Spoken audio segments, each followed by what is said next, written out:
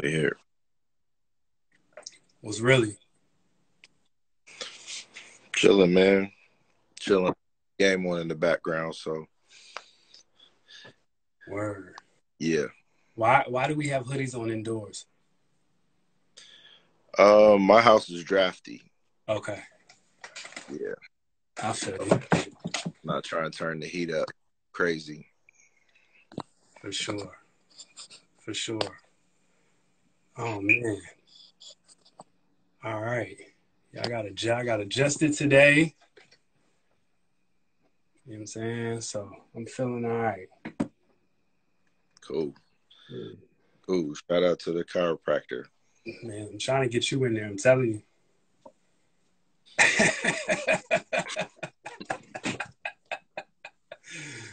I'm telling you. Nah, man. I, I already I already tried that. That I'm not there yet. You just had the wrong one. That's all.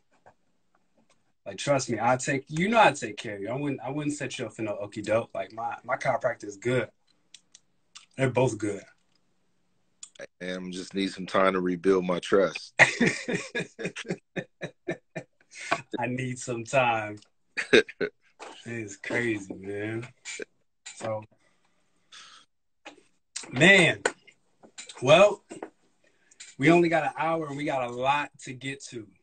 So let's uh let's cut through all the small talk and let's let's get going. So um can everybody hear? Sorry, I just want to do a mic check before we get started. just uh just say you're good or put a one in the chat and do something. I don't know. Let's know if you hear us. Levels are good. We can get started. I don't know if your means I can hear y'all. Okay, yes, okay, everything is cool. Okay, what up, Rich? What up, Bill? What up, Tony? Okay, lots of folks in here. Hello, wife. Desmond in here. All right, big bet. So, we had two major events um, pertaining to hip hop culture uh, happen within the last few weeks, and I think it would make more sense to start recent and move backwards. Um, so I want to talk about um, the untimely, unfortunate, unexpected death of uh, Takeoff from the Migos. Um, he's in Houston, private party. Um, there's an argument there. From what I'm hearing, it had nothing to do with a dice game, like uh, earlier reports said. Didn't have anything to do with Quavo. He was actually trying to defuse the situation, but you know, Texas is open carry. Uh, they were also rolling with you know J. Prince Jr. and his associates, and that can get a little dicey. You know, knowing what you know about him.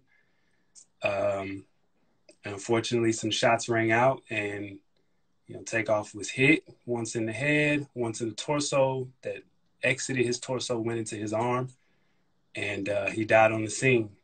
He's 28. It's a baby.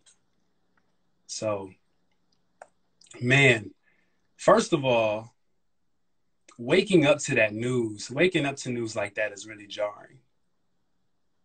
Um, I I literally rolled over and I've decided like this really makes me not want to grab my phone first thing. It's a really bad habit, but many of us do it.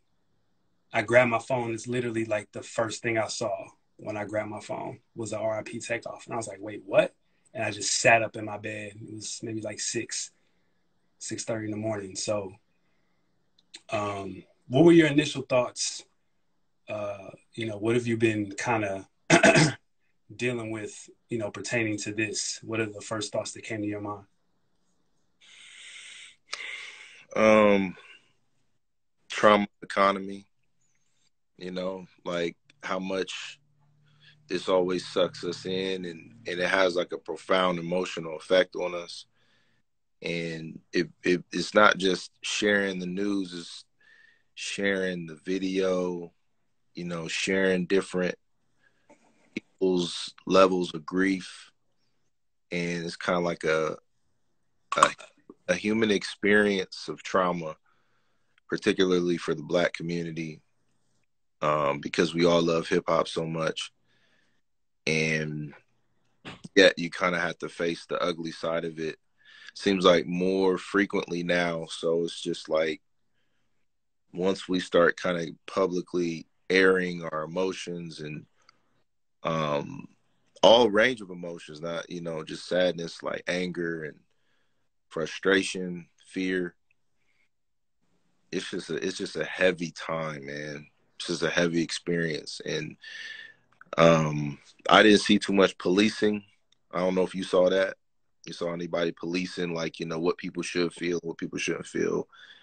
Um i think i saw somebody put up an apology post for for like trying to go the direction like chastising the community and you know of course sliding in the jesus stuff like you know i didn't see a lot of that though um so it, it at the end of the day man like as a griever i feel like we're all grievers it's just not my my it's not my place to judge how people are experiencing that it's just that the shared experience, visibly, vocally, what we're seeing is just a lot, bro.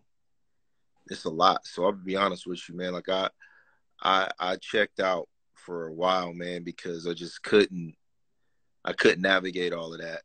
You know what I'm saying? Like I was, I was, I was sad to, to see this again, but I think for the first time, I started really like analyzing how um desensitized I have been. Mm. You know, like wow, like why is this not like pulling anything profound from me at this point? And that's kind of like another level of the sickness. Mm. So I just had to just get away from it to like really feel it in a in and I felt what I felt like was an appropriate way for me. But hip hop, man, strikes again. Like the culture strikes again. This narrative strikes again and it's just a lot for people to deal with. How did you feel? Man, I was sad the whole day.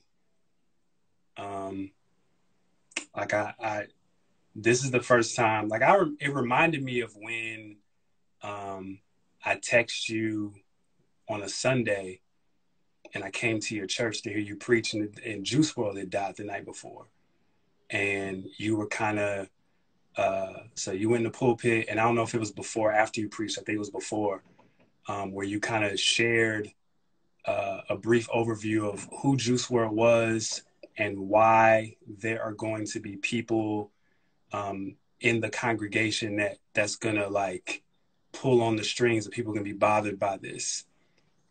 We know that the church and hip hop has like a really uh, weird relationship and I remember when I was listening to you and I was just like, I was in, I was, I was sitting in the pews, like crying, like sobbing, like uncontrollably.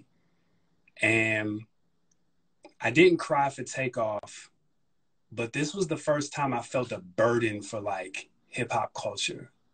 Mm. And mm. in this kind of way, like a spiritual burden. Mm-hmm. Um, like y'all, like man, when I when I came into you know, uh, Christian culture, um, I kind of felt like I was like the hip hop representative, like I was trying to like blend the two worlds together.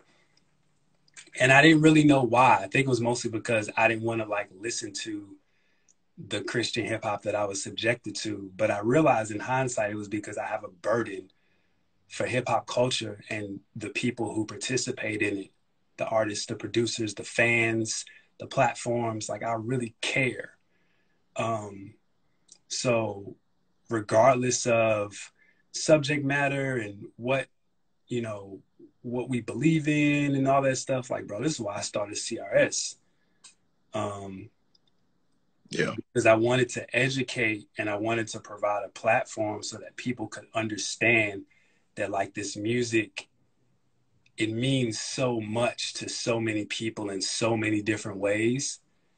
And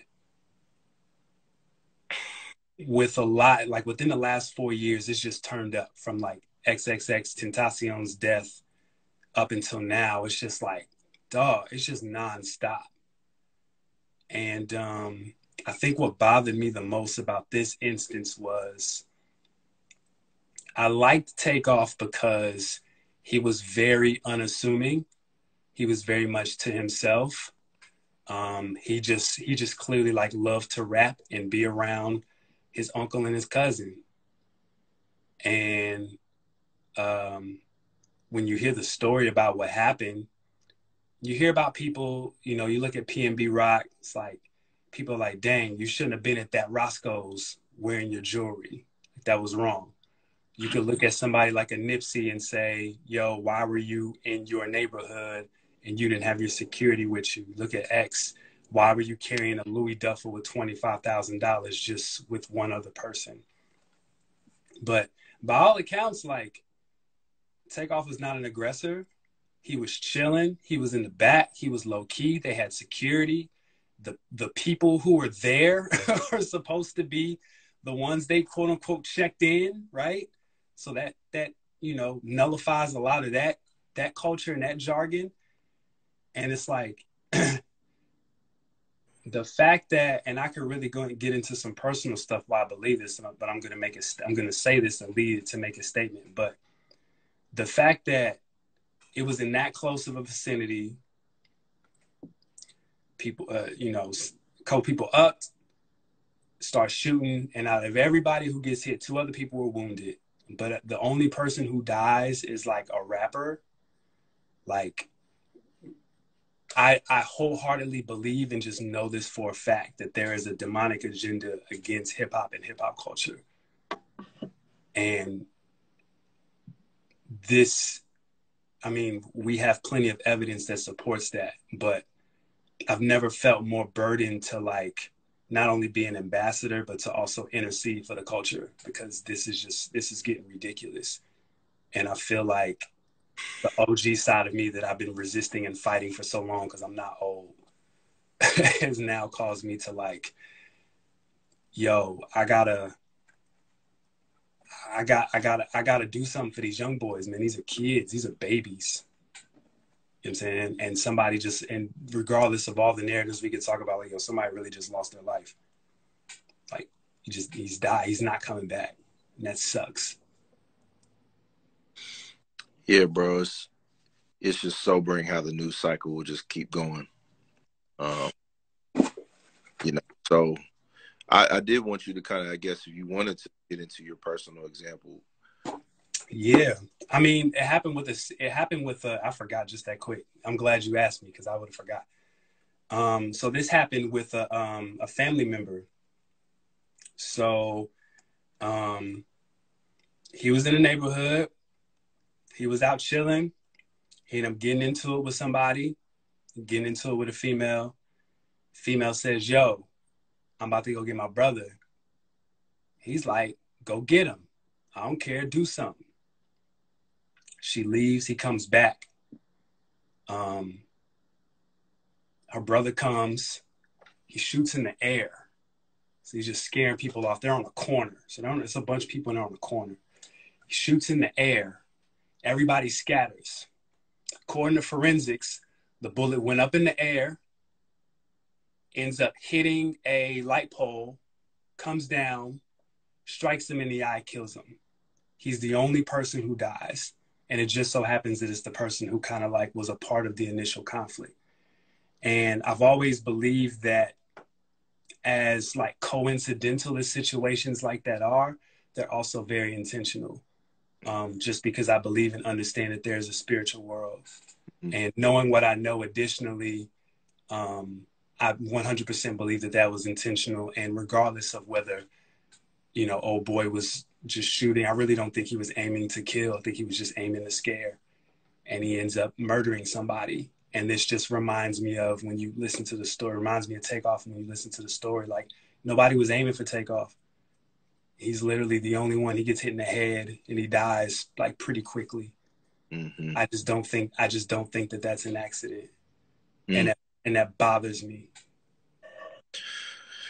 Yeah, very. I mean, it's just a tragic situation from, especially from the standpoint of hearing like his his nature chilling. He was never really big talker, you know, instigating anything. He kind of like low key into himself, and to just be a bystander. And again, like it's you know, man, it's this culture, man, and the culture amplified by social media. Like, bro, like what would what is social media would would have been around during like '90s hip hop? You know, talk about violence and stuff happening that just becomes street tales, street legends.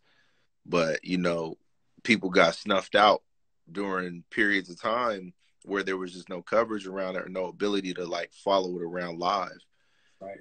So now, like you know, we get to interact with that, and people respond to it openly and publicly, like as it circulates. Of course, the video. I didn't watch the video. I don't know if you watched it. Nah, I didn't.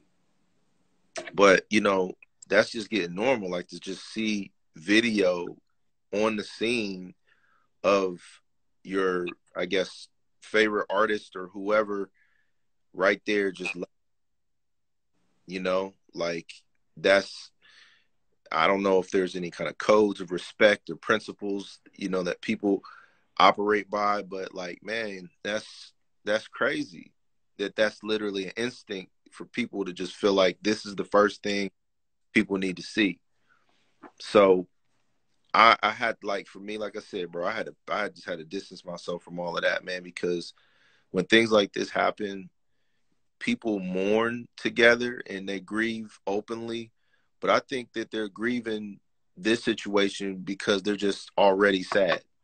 Like, you know, and they go to the internet just to just project more of that sadness. And it's crazy, man. Like people are really in pain and scared. You know what I'm saying? And that's why the, the whole trauma economy thing just makes sense to me because it just keeps getting pushed out, pushed out, pushed out. And, you know, people think they're doing therapy. nah, dog. Nah, you're not doing therapy. Man, like you you are out. Maybe you're medicating, but it's just it's it's not it leaves us this is my issue, bro. It leaves us in a hopeless place. Mm. That's my issue. Like because you get people who just say, man, we got to do something. And there's no answers. Right. Like, generally speaking, like, I can't believe this happened again. And I can't believe we were unprepared again. That's right. And it's that, that is the probably the most tragic cry of all is to not have hope on the other side of something terrible happening and not have a plan for it not to happen again or to happen less often. And really kind of like what's behind all of this is the fact that we we mourn the most visible version of that when for many communities it's just normalized. Yeah. You know what i'm saying? So it it becomes this common this internal conversation that we're having in the culture you know in hip hop whether it's you know just kind of analyzing what's the most popular music out right now or it's just kind of like trying to understand the younger version of yourself and, and then maturing through all of that to get to the other side. I saw somebody say something about um how Puff like, you know, in his Joker costume, how he de-escalated. You know, mm. he like he was he was getting to the street version. He came right out of Joker character. Oh, you talking about when he got into it, oh boy? Yeah, yeah. Yeah, so he was in full Joker costume character, and then a moment like transpired where he changed. Mm-hmm. Hey, you want to get to it? I got this fake gun in my hand. Like I'll bust you over the side of the head with this. And then he had to just like de-escalate and say, "I'm out here for love," you know. but but I got to give him credit for that. Like he really he really just kind of redirected. But this is a man in his fifties, right? You know what I'm saying? Look, like, look at look at what all that he's experienced to get to that point to be able to do that, bro. And so these guys aren't the ones who necessarily preach to the younger people. They are they are actively experiencing this process of maturity in later years. Right. You know? And so the youngsters, you can't blame the super youths for just going to the highest level out the gate if the older OGs are just now getting emotionally mature. Right. So the hopelessness is this is disturbing because I think sometimes we expect too much out of ourselves. Mm. You know, and we and we we kind of interrogate, you know, what we didn't do when we have to like really just kind of pace this thing out. You know what I'm saying? Because I feel like there are people doing things to redirect the narrative, but they won't get as much visibility as the trauma. Mm-hmm. You know what I'm saying? So I think there's there's introspective work we got to do in our community to lift up the right people, to, so we don't just stay in a place of hopelessness. Yeah, that speaks to so many different places. Like I'm just thinking about all of the other people that get to participate in hip hop culture that are not hip hop themselves. Mm, yeah. Um, and so when you talk about de-escalating, I think of people, I think of spaces and brands that like, um, they don't benefit monetarily off of de-escalation. Right. You know, we we talk about organizations that uh, you know and platforms and uh, uh, you know self-imposed pastors and all this stuff that you know position themselves.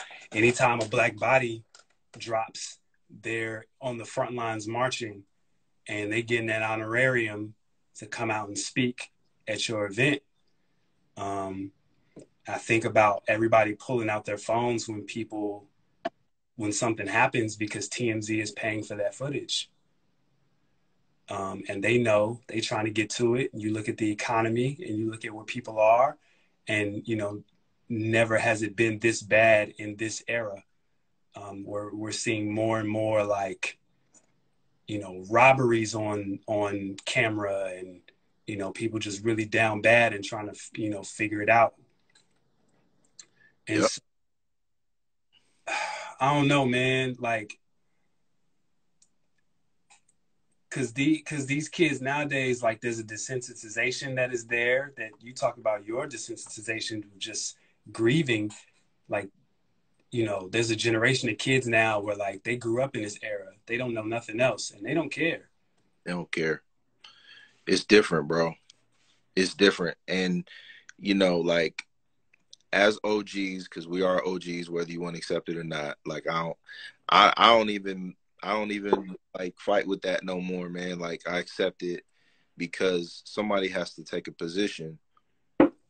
I still feel like there's a generation younger than us that can connect with that generation better than we can.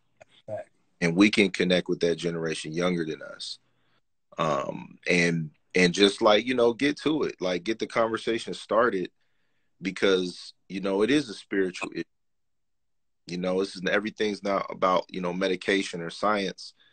Um, it's it's like you know the whole person is spiritual too, mm-hmm. and there's like a darkness that makes you not care.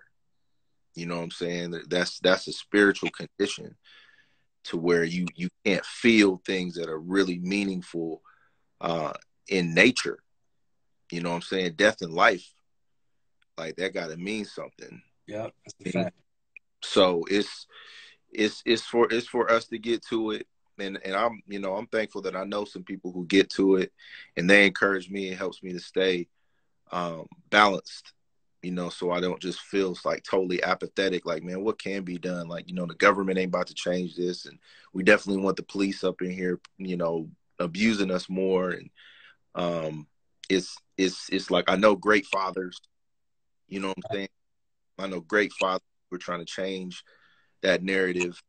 And so that's why I said I need to get some space because the worst of us is going to get exalted right now. And that's not the total picture, even though there's tragedy that we're still working through. Like there's active tragedy that we're working through. This is still happening in our city. Right. Like people been getting killed in Columbus, Ohio. That's right alarming rates. You know what I'm saying? Like in the mm-hmm. street.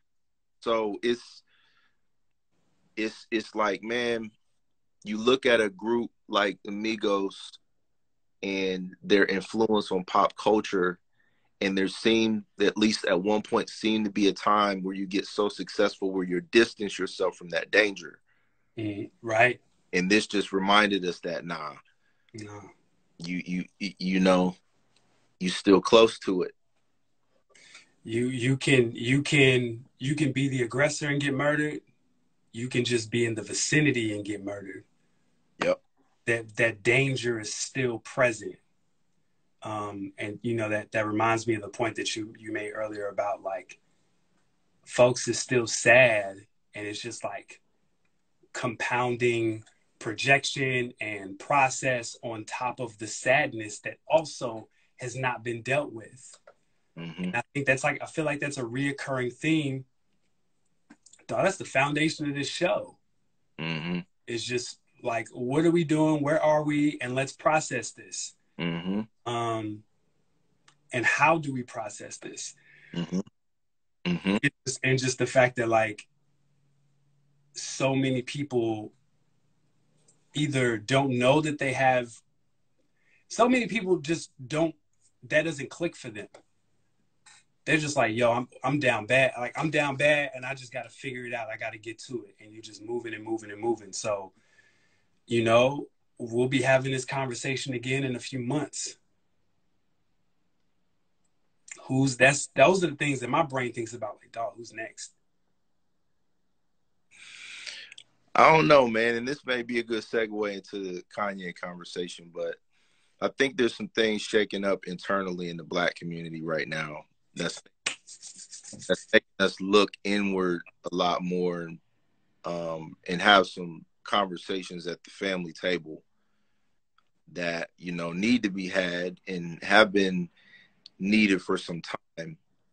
And I think you know, unfortunately, this tragedy has folk has forced us back to the table again because mm-hmm. I'm hearing some people talk strong like you know black men need to go back and take back the community and like what what does that look like does that look like a reinvention of the black panther party you know does that does that look like releasing some gang leaders from jail to help get some order out on the streets yeah you know what I'm saying? Like, what are we tangibly talking about? that's that's the that's the part that I really feel like is the conversation at the table. Because we can't just be talking in theory and quoting W.E.B. Du Bois. Like, you know, we can't do that. Like, right? Who who's going to work at this school? You know, who's going to be a deacon in your church?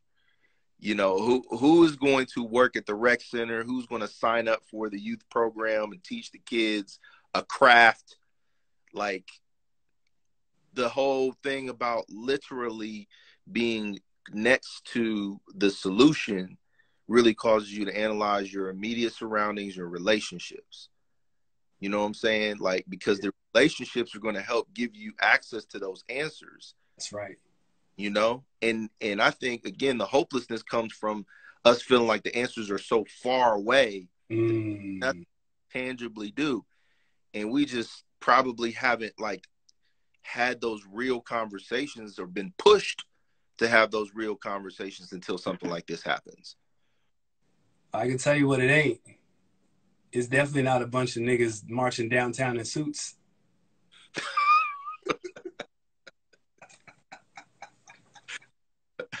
I had to get that off. I'm sorry. I had to get that off. That's what it's not. But that you make an excellent point. The answer, the solution is in small steps. We talk was people say the devil's in the details. The Bible talks about little foxes.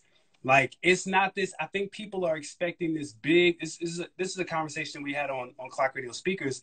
We talked about um like celebrity like leadership. I was talking about it on my YouTube last week too, like how celebrities are the new leaders. And I think we're looking for a Malcolm, a Martin, a W.E.B. Du Bois to like stand up and say, this is what we're doing, black people.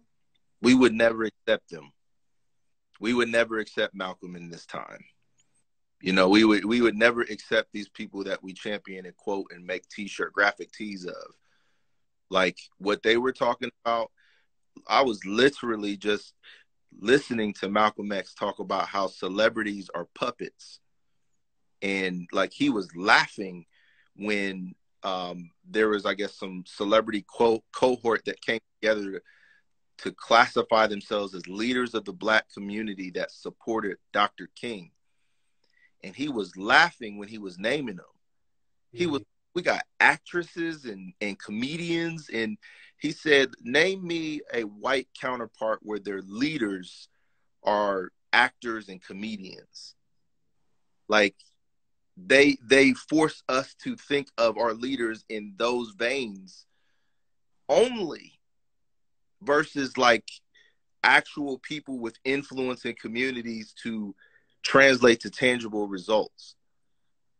Yeah. like that that that is it that's like from Malcolm's perspective that's a strategic way to cause us to continue to run on this hamster wheel. Yeah. So I'm like we get to Kanye. Out the gate man I'm not looking to Kanye to give me all the answers of life, bro. Right. Yeah. Like, I mean, like literally, I position my mind and my heart to extract good information where I can, identify my disagreements, and move on. Yeah. Like, here's the, the old way it used to be said is eat the meat and spit out the bones. That's right. that's what we used to hear growing up. Like, and we used to hear that all the time because we used to hear people say some crazy stuff. right. Whether it be in our family or whether it be in church, whether it be on TV, be like, yeah, that was some crazy stuff. Or we acknowledge, like, man, I didn't expect that person to say that. That's what's up. Yeah. But we think it's like the ultimate, like, end of the relationship if we disagree with somebody strongly. Right. And, and that's that's not a relationship. That's a hostage situation. Mm. You know, like I'm holding you hostage to my passions. And the moment you leave them, then we can't be cool no more. Nah, bro. Mm. Ain't no relationship. That's not real. That's right. You know what I'm saying? Like, just say you a fan. Like, you know, just just like draw that distinction. Like, you know, for your own mental health so you don't need Kanye West to say all of the things for the black community to be okay.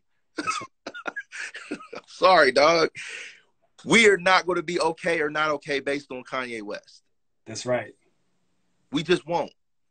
Now, he can make great points. Mm-hmm. He can make great shoes. Mm-hmm. He great music. Mm-hmm. And we can be straight. But the fact that like people think that our entire relationship and social mobility is based on the statements and the actions of celebrities, bruh, I'm not going. That's a fact. I'm not going.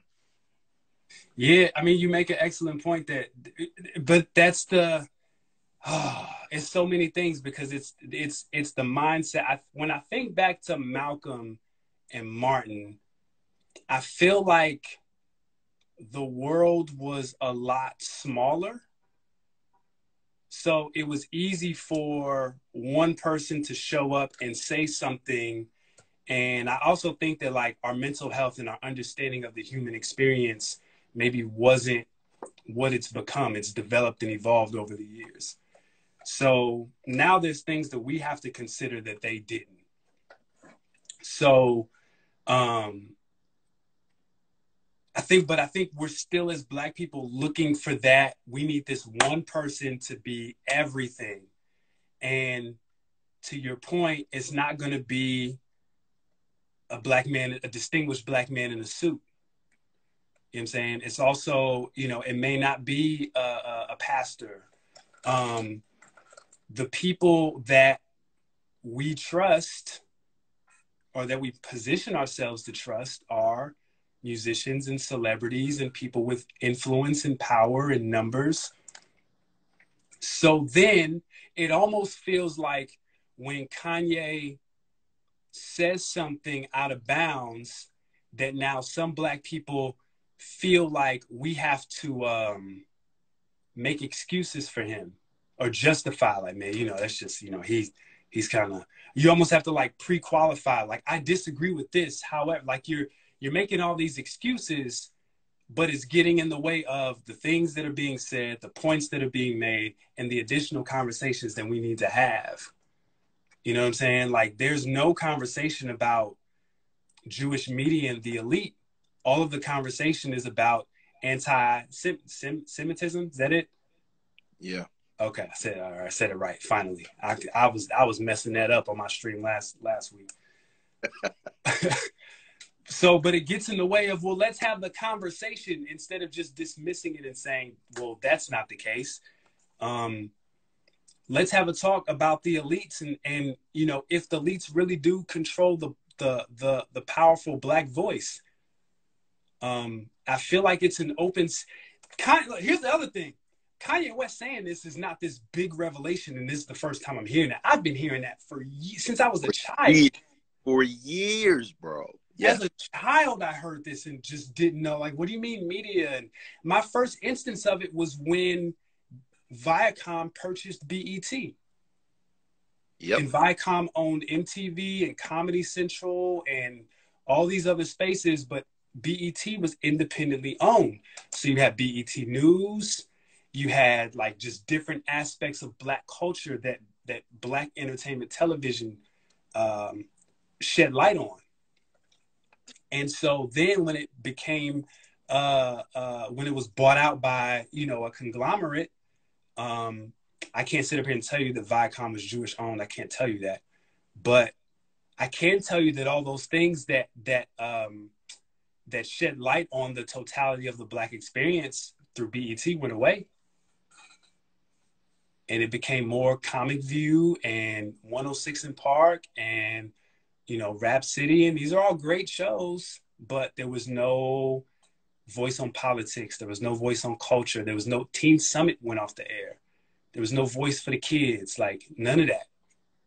I just, I just, I, I've lived enough and I know enough to know that that that's not, uh, that's not by by happenstance.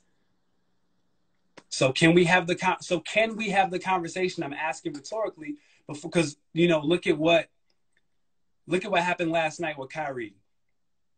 So it wasn't that the conversation is not the conversation that that the media is putting on is oh Kyrie posted this anti-Semitic book. The conversation that I want to know is why on Inside the NBA, Shaq and Charles Barkley just threw this nigga under the bus and called him all types of names. And it, it doesn't, it, it's not lost on me that they just announced that all them signed an extension. And, and Charles Barkley, who's been saying, I'm going to retire at this age, just got a boatload of money. It's not lost on me that immediately after Kanye loses, he said he lost $2 billion in a day and everybody drops him off. Now all of a sudden, Forbes, who's never acknowledged Kanye West, Forbes that you have to pay for to, to be acknowledged. You got to pay for that. How do they track all of your money? You have to tell them. You know what I'm saying? Nobody, nobody here knows how much the other person has in their pocket right now. So why do why does Forbes all of a sudden have all these all this access to, to celebrities' money? But soon as Kanye is no longer a, a billionaire, who do they put in that place? Puff. Who what does Puff own? Revolt. What was Drink Champs on? Revolt. I just don't like it's this is not a these are not crazy statements to make at all. So can we have the conversation? not you know not if people are gonna be in like to me this is barbershop conversation. Like this is the stuff that black people have been talking about for years. You know it's just whenever somebody gets out in the public we be getting scared of being embarrassed in front of everybody. See that you worded it better than i did. Exactly. Like we've been we've been doing this bro. Like, we didn't know about the hebrew israelites. We didn't we didn't heard about all of these different theories and thoughts in our family spaces in our in our quiet environments like you know people passing weed around like you know just talking about wild stuff.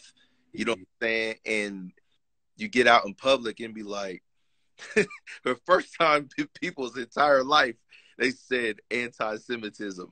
Ever. Right. i can't even say it.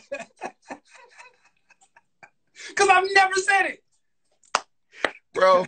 It's like it's like copy and paste outrage. Like you know what I'm saying, bro, like, bro sound it out. No, here's the problem. Here's the problem, and that, that excellent point because black folks was offended for too long. Oh, y'all just not finna sit up here and be offended. Oh, for two years, oh, y'all got the whole year. Y'all got all of 2020. Oh no, no, no, no, no. We got we got to get in on this. You called this a trauma economy, and it's the trauma Olympics. Like I'm trying to out. I'm gonna out pain you nobody let me just say this I'll, this is Taelor Gray thoughts and points made from this perspective do not necessarily represent Armond. Let cool. I, I trust you. No one is ever going to win the oppression Olympics over black people. Ever. That's not even crazy to say. Not crazy to say. I get the American Indian plight, but the way black people are regarded across the entire planet in whatever kind of condition you want to talk about aborigines in australia you want to talk about the continent of africa right now what's happening on the continent the motherland wherever wakanda is it ain't strong enough. Like what's happening over here what's happened with the the the south american black community in the political structure in places like brazil bro this is not just like uh a, a like a flamboyant statement to be controversial. We have stories for centuries of the ways that we have been oppressed. We are the only ethnic group in this country who have never received reparations. You want to talk to me about being offended based on remarks? We are actively getting killed in the street.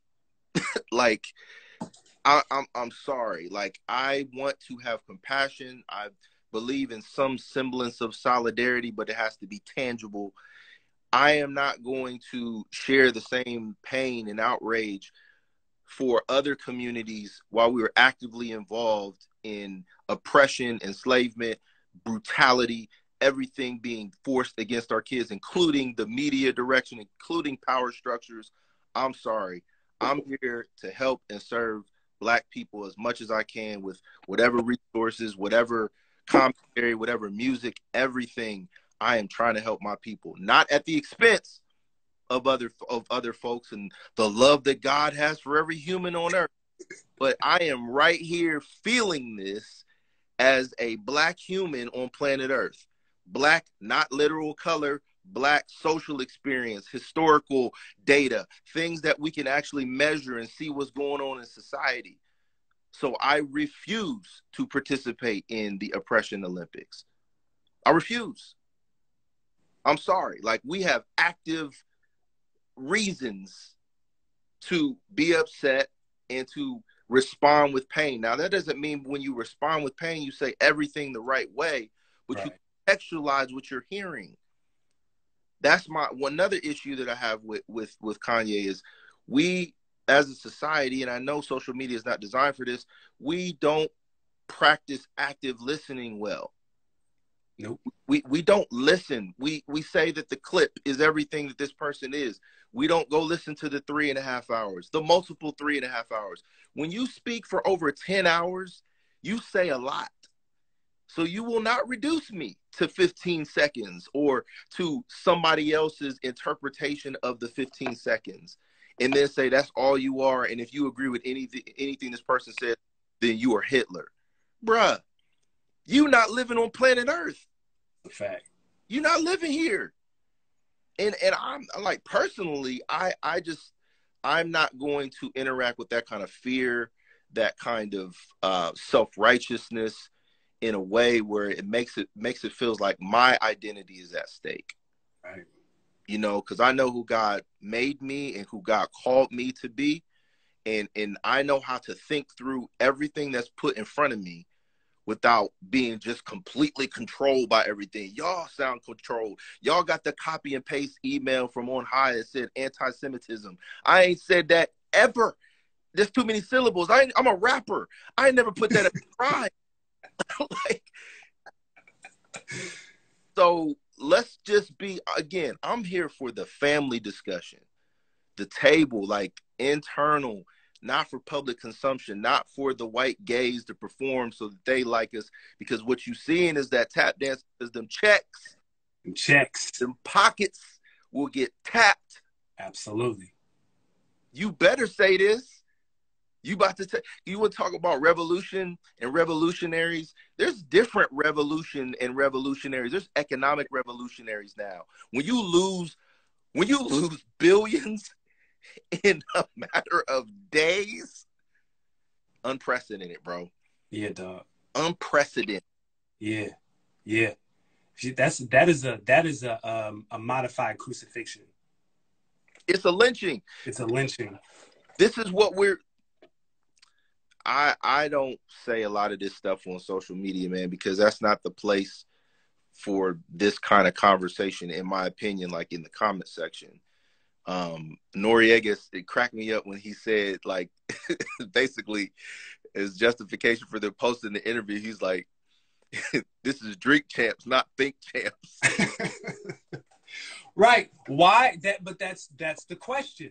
Why is Nori the spokesperson or the person who is now held responsible for checking Ye as Ye talked? Nigga is called Drink Champs. They get the platform. The platform is widely successful. And think about how ignorant this is. They just get on a platform and they drink hard liquor and talk and smoke and smoke. so you mean to tell me that that's supposed to be the person that has a moral compass when they hear something wrong to be like, "Yo, that's not that's not right, huh?" Man. What? Hey, man. it, outrage economy, trauma economy, it's profitable to be upset and angry with high blood pressure all the time. But that goes back to my other point that I talked about you offline is that yo, I, I, and I said this on social media, like yo, none of the, none of these platforms represent me as a as a black man. Mm. None of these black platforms represent anything that I stand for as a black man, because this is why I gave Nori and Drink Champs a lot of credence is because they were the only people where Kanye felt safe enough to go. You and I talked about this, like, yo, Kanye looks so comfortable. If you watch the first the first interview, he looked so comfortable. He was so comfortable that people he won people back. The first the takeaway from the first Drink Champs was like, yep. yo, like, all right, yeah, love, we love you, bro. You know, yeah. Yeah, just come home, right? So, all right, why doesn't so if that's the case, then why doesn't you know, like God, what else do they where else does he go? Million dollars worth of game? Breakfast Club damn sure ain't going to the breakfast club. Where does he go?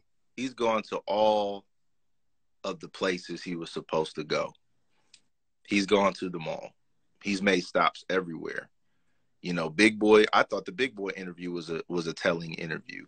Mm. I still remember. I still remember a lot of that one, and mm-hmm. like the the drink champs, and so enjoyable for everybody. And generally speaking, with Kanye, because he literally just says the first thing that comes to his brain. Mm-hmm. You know, we're used to people being so political. This was the draw for to, for Donald Trump for a lot of people. Is mm-hmm this is a guy who, whatever you think of him, he's literally saying what's on his mind. Mm-hmm. And we're not used to people being so unsavvy with their words. Mm-hmm. You know, so Kanye is not being savvy, bro. It's a re- it's a big reason a lot of people gravitate musically. Mm-hmm. You know what I'm saying? Like the fact that Kanye is very transparent and vulnerable in his music is what gathers the audience. Mm-hmm. So you you got to take that for both sides, like the stuff that you love and the stuff that you don't. It's humanity, and I really think that like he he represents this kind of a mirror that people just don't want to look at because he is us just butt naked in front of the United States of America with multi millions of dollars as a black man. Yep. You know what I'm saying? Like it's it's it's it's like that level of honesty is jarring. You know what I mean? Because we're just used to people patching it up. You know, like don't give us too much you know, now you got to say the right thing here, bro. And he literally says that. Like, I know what you guys want me to say. I know what you expect. I know what it means to be a good boy and, you know, take the hat off, but I don't want to take it off like a kid. yeah. But for me, at least, at least I can feel some measure of like, okay, this is truly what he believes and thinks. Mm-hmm whether or not like you know he was wild for the the George Floyd comment like that mm-hmm. that was wild, bro. Like, nah, we don't need to hear that. I went back and watched the TMZ situation where he was yelling at the whole. He had Candace Owens in there with him. I'm mm-hmm. like, she's not the one to cape for, dog. Nope. That ain't like. But you said some real things too. Mm-hmm. You know what I'm saying? The slavery was a choice, bro. You just put yourself on the grill with that and just added some seasoning. They coming for you when you talk like that. Right. But I'll tell you this, man, and I'll I'll just make this quick personal reference and and pass it back your way. As a pastor in the inner city, it's very interesting what ways you have to model listening when you interact with an inner city community. Mm, okay. In the way people talk. Okay. Like sometimes people are all over the place, but they're really trying to tell you something. Mm-hmm. So you have to have, you know, patience to like really process what's being said. Mm-hmm. We're right between the police station and the liquor store. And many a time I'm out there talking to people outside the liquor store. Mm-hmm. And you have to really listen. Yes, you do. To what's being said. And it's not convenient. It's not pretty. It's not coherent. It's not even all the way in order, but you have to have, you have to be tuned in to really like try to humanize this person. Right. And not make too quick a conclusion about them because they're in this state in front of you. Right. And if you don't have like that actively working, I'll say for me, it's been I've been thankful to be able to have that kind of a training ground to prepare my for multiple kinds of conversations. But I'm saying that experience, man, bro, people who don't know that they're long-winded, you know, people who are just totally inebriated, people who are recovering from whatever kind of addiction or or recovering from whatever social circumstance they're going all the way around the block and back just to tell you some key data at minute 56 and it's like lord but that was a heavy one at minute 56 yeah so again like for me like i'm i make space to try to hear as much as I can, eat the meat, throw away the bones. That's what I'm going to continue to do it, yay, because I'm not done. Yay, I'm I'm still rocking. I'm still listening. I'm still watching the journey because I believe it's leading somewhere that we all need to see. So I'm glad that's the last thing you said because I think a lot of the outrage comes from people who do not have that level of empathy, grace, and patience for other people and then they get mad when other people express it. Mm-hmm. Like, what do you mean you still you still rock with Kanye? What do you mean you, you know, like this idea of like a this idea of groupthink, I think is really starting to lose its power. Yeah. I'm I'm seeing Wow. There was an idea so the black experience in its totality has always been like just championed. We are so many things. We are so, but when it comes, but there's still like a very universal voice for a lot of matters. Mm-hmm. And I think what situations like this is doing is that it's not separating people, but it's also revealing that the loudest ain't the majority. Bingo. Loudest is not the majority. They are posturing themselves as such. Um, and you know why they're doing that? It's to your other point it's the tap dance and soft shoe because they know Massa watching and Massa cutting them checks.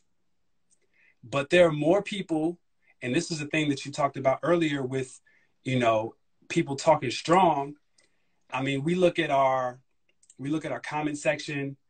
We're having independent conversations, like just with people, having conversations with people. Something as simple as, so what do you think about this whole Kanye thing? I haven't had one conversation that was as strong in public as it is online. And that says to me yeah. people are like, wait a minute. And for some people, I whole I wholeheart I was I was thinking about this the other day. I was talking to my wife about this. For some people, I think there's gonna come a point where you're gonna have to repent, mm. and your repentance is going to look like you availing yourself to understand. Mm. It's not going to be this big like worship moment where you're on your face crying out, telling the Lord you're sorry, Yeah. It's you sitting down, looking somebody in the face that you don't see eye to eye with, and availing yourself to understand their perspective. Facts. Yes. And that, and and I see more and more people doing that, but it's very much like Fight Club. It's like, yeah, I kind of, I'm, I'm not. I haven't met one person that is throwing out all of their their Yeezys. People are still keeping their clothes. That stuff was really expensive, and resale has not shot up. So I'm gonna keep it. I'm gonna keep it. Even the ones, there's a couple pairs I was gonna get rid of just because I don't wear them. But I'm like, nah, I'm gonna just, I'm gonna see where this goes. And then you see, so then you see, Adidas announces their collaboration with Balenciaga. I'm like, are you kidding me?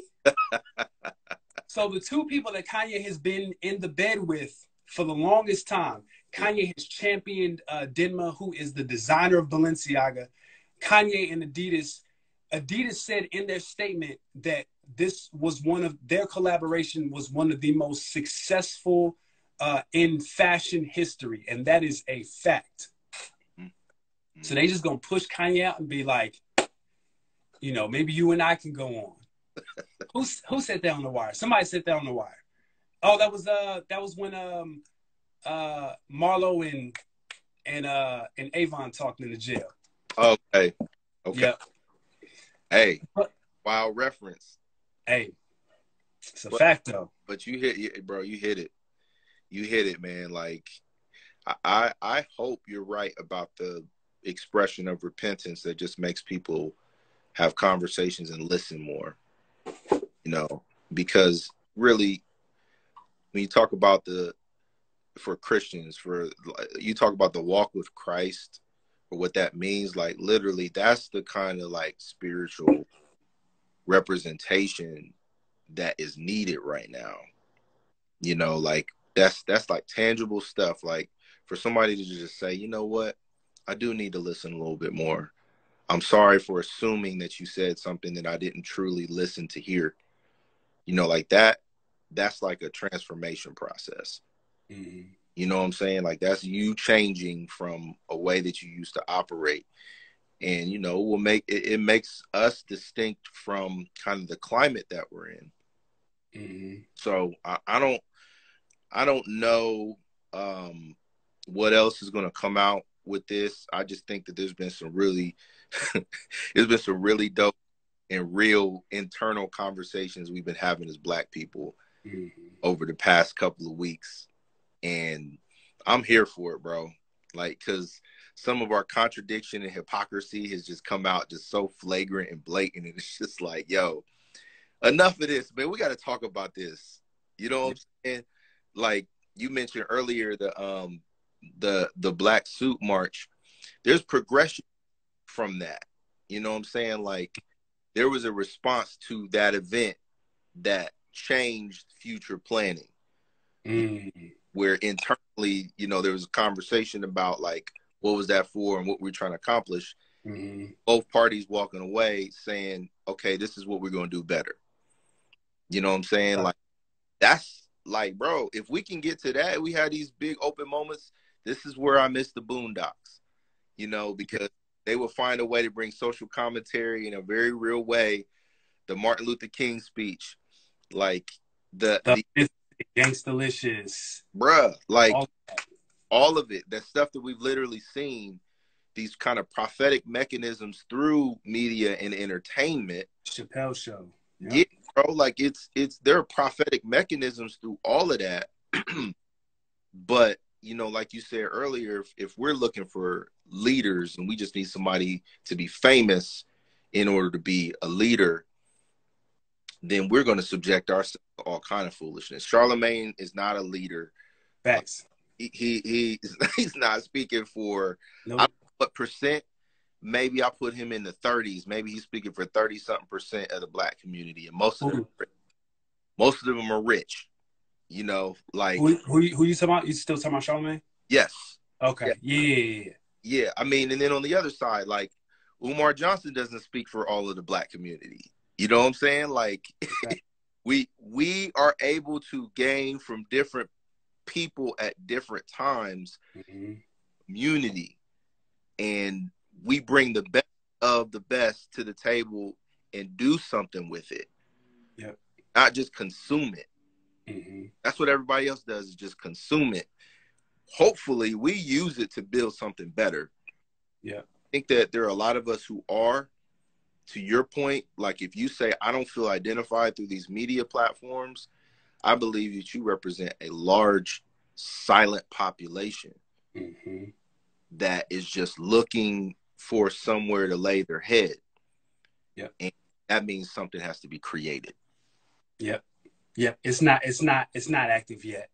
Or it's on YouTube with like 500 followers and is and is being built up. I think I think that we're in the silos. We're seeing like I think we're in the silos and we're seeing people that are in the dojo and they like learning and honing their skills and when it's time they're to launch and it's to take over all this stuff because to your point the fact that we've looked to all of these people and these people have postured themselves be it politicians entertainers we have subjected ourselves to so much trash and malarkey and we've been gotten over on so many times. I think finally black people as a collective are, are starting to be like yeah nah hold up. This ain't this ain't it. This ain't how this ain't how i go. Um let's let's figure this out because it's not enough. it's not enough. like it's not a politics and when i say politician I, i'd say that specifically for the politicians that get trumped out as like hey this is your solution black people Yeah. Yeah. you know what i'm saying it's it's not in any of these platforms that are signing with barstool and revolt and all these major platforms that are owned by white people that are going to silence because they do not have an interest in the true black voice it's going to be in independent thought, independent people who avail themselves to make themselves available to their community and mm-hmm. whoever they build and whoever they attract. And it's just going to grow and grow and grow and grow. You Yep. know what I'm saying? Like I, I wholeheartedly believe that that's that's the future and that's where we headed. Yeah. And I- I think this is the catalyst for that. I do too. Stuff like this, bro. Like this, this is a good time for some internal conversation. We got a lot to talk about.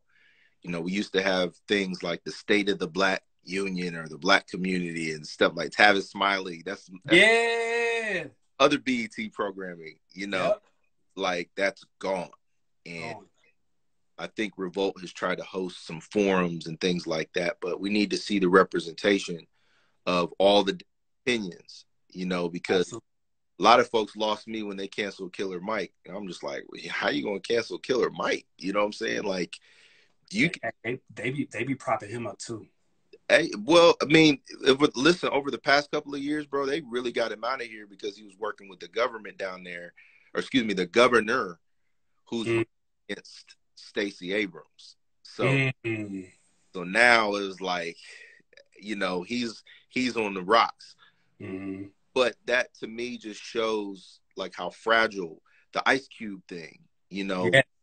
like you know Will Smith, and it's just like, yo, we need to have some conversations, y'all. Absolutely. you know, you ain't about to be getting all of our black fathers out of here, bro. Like, Fact. That's a fact. you just not gonna be doing that. Like, Yeah, nah, and- and it it it takes a degree of sophistication to have these conversations and not just be truly emotional about it. Like, I mean, emotions are good, passion is good, but you got to have some facts and information and some history, and then some conviction to get to it.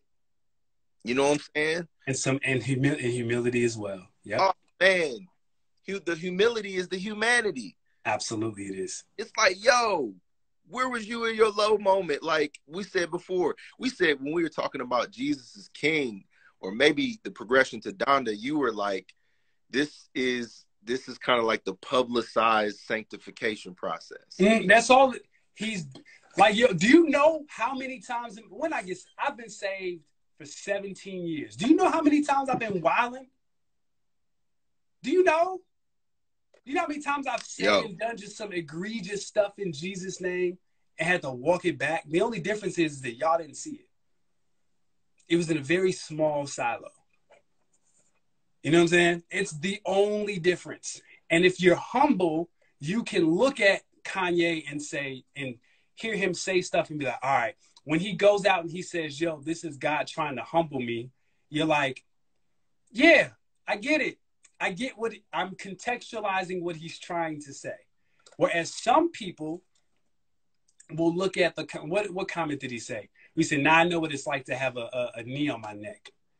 It's like I feel like that was an artistic expression in comparison to what it to what that was. Mm. Where I feel like some people will take that statement as literal, and I don't think that that wasn't meant to be a literal statement. That was an artistic compare. That was an artistic comparison because he's still an artist.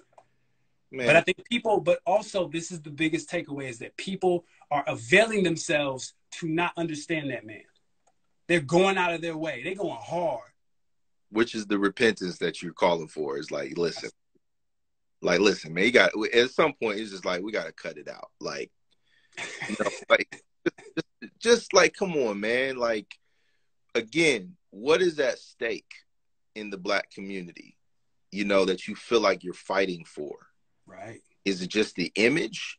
You know, is it just you guys say dignity? Yeah, the black excellence. You know, mm-hmm. that doesn't even represent like that image doesn't even represent the full population. You know, like you and I are hip hop. We we are hip hop adjacent part of the hip hop culture, and you know some of these black excellence representations are exhausting. You know, it's just like, yo, man, I wouldn't even want to go to that party. You know what I'm saying? Like, y- y'all be mad if y'all went to Beyonce's house and it was dirty. you walk in there, her house looked like your house on a random Tuesday. Because your kids came home from school and went crazy. You don't think that you don't think that happens in the Knowles Carter household and all these images of black excellence?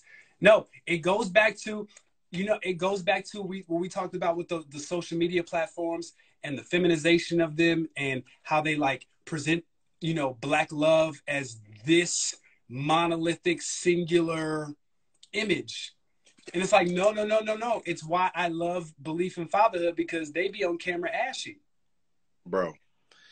Armpit hairs out, you know. You know I'm saying? Not hair not done. Bruh. Like in between cuts. In between cuts. Like, yo, I'm I I ain't got it right now. I'm working. I'm busy. I can't. I'm not. I haven't gone to the barber because I don't have time. Bruh. Bruh. You know I gotta make time to do like that's that's black excellence to me is to is to experience all of that and still be able to make it work. Bro. So the nights the nights where dinner didn't work, you know, like something was attempted to be made and it just didn't work.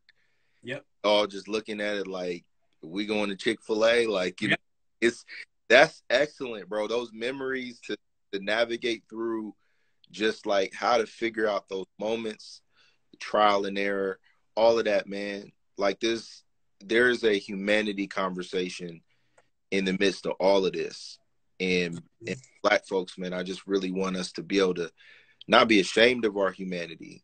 You know what I'm saying? Like the the good times and the bad times, but you know, really for the sake of of of trying to access an identity of unity, like you know, where we stick together or we accept the com- complexities that we present out there to the public, but we don't just speak negatively about each other publicly. You know what I'm saying? Like you said with Shaq and Charles, like, look, man, just just say you disagree with him. Yeah, you know I'm saying like I'm, I, I, I disagree with what he's saying, but you call yeah. them idiots and stuff, and it's just like, yo, man, like this is who we got y'all sent y'all. It just looks like y'all sent in the heavy artillery. Sent. Sent them in, and Kenny's just over there like, don't want to listen to me anyway. So whatever. I ain't, I ain't saying nothing because I kind of agree with like you are. He's just got his head down. Like, look, I, but he's the one hear from the most because he's actually close to Kyrie. Like their camp, mm. they're close knit. So mm. I wanted to hear from him the most. Mm. And clearly, you know, he wasn't driving the bus. You know what I'm saying? Like that's that's what we're left with. Absolutely. The other aspect, and I see it in, the comments, is that we haven't even talked about like the exploitation of the black experience and how that affects uh, our inability to present honestly. Yeah, there's there's so much with that because there's I don't again I talked to you I talked to you about the uh the show Atlanta. Um, mm-hmm. Donald Glover addresses that in the whole Tyler Perry dynamic, which I won't. Um, Just tell me what we gonna watch that. We gonna watch that tonight. What episode is that? Do you know what number it is? I I don't, but I can text it to you. I can text it to okay. you. All right, bet. But but like again, we're back to the um, the Jewish media conversation because I just was reading a story yesterday about this guy named Norman Lear, who's like a Hollywood executive, and there's another man, and now this is just the effect of history, the way it's told. I've forgotten his name. There's a man who's actually the creator of the show Good Times, The Jeffrey, and um, there's another one that I'm that I'm forgetting, but mm-hmm. the shows that centered on the black family, and Sanford and Sons the other one. Okay. And so this guy created these shows, but Norman Lear took the ideas and essentially is the one who's remembered as the creator and the mm-hmm. person who facilitated a Hollywood image of the black community. And so Norman Lear did create this other show called All in the Family with Archie Bunker, which is where the Jeffersons comes from. Mm. All, that all of that being said, there there's there's literal evidence of ideas being plundered from the black community, uh, talents, contributions. Eric Monte is his name. Thanks, thanks, bro. Look, that Eric Monte created those shows. An executive, I'll use Kanye's words, who who happened to be Jewish, took the ideas mm-hmm. and was even trying to eliminate the black father from the roles. Absolutely. Yep. So in good times, that was the controversy with John Amos, the father. Yep. Yep. You know, he said, "I'm, I'm like, I'm not going to be doing all of this stuff. This is stereotypical stuff that y'all." And they just started elevating JJ more, more, and more. Mm-hmm. And that's because the original creator was forced out and they hired all these new writers and they just started dis- dismantling the original vision of displaying a healthy black family mm-hmm. Audiences. So that's just one story, you know, from 50, from 50 years ago. From 50 years ago, but bro, they just did, uh, you know, like those live tapings of the classic shows where they brought in the all the family people and they brought in the Jefferson people. Okay. And they did live studio version, and Norman Lear was sitting there next to Jimmy Kimmel, and Eric Monte's nowhere to be found. Oh, of course, nowhere to be found.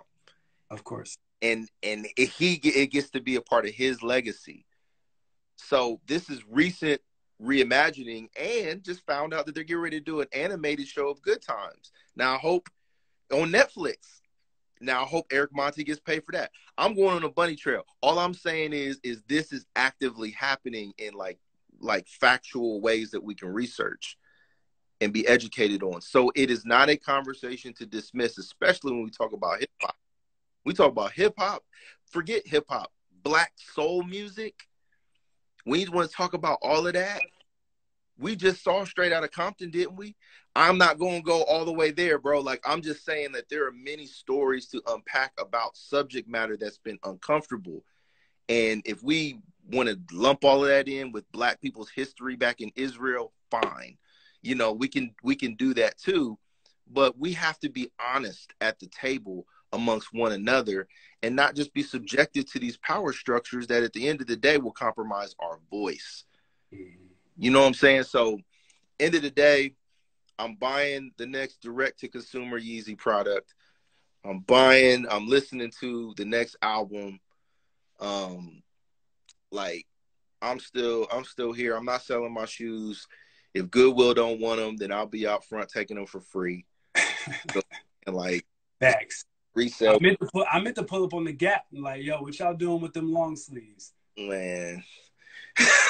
Somebody has already begun to resell them. You already know. Yeah, there's a there's an employee like, oh yeah, let me let me go ahead and holler at those. Oh, you and, already know.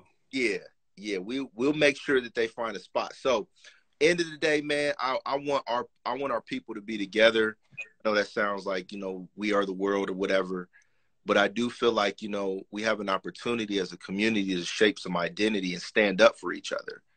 even if it goes against the grain of like kind of pop culture stuff. Because the pop culture people are being exposed to me right now. Yes, they are. And it's like, ooh, who do you work for? Absolutely. Yep. Yep. Yep. We have to not be in love with those things. We have to be okay with watching them die. Yep. Because they got they gotta die. They gotta die. And we'll be, we're gonna be all right. We'll, you know, Kendrick's not gonna have another album for another ten years. So there's so much I want to say. It's like, oh, Drake Drake is going to distract us in a couple of weeks. no, Friday. Oh. Friday. He posted RIP. He posted his sad RIP takeoff post, and then today, Howard Stern, Tiny Desk. We coming. One monkey don't stop no show. To to the white folks who tuned into this and and you know just may tune into it later we still love y'all.